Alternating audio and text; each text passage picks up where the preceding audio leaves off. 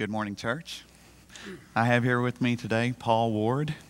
I'm a little nervous because I'm doing another one after this, but this is Paul Ward, and he's come forward today to accept Jesus as his Savior.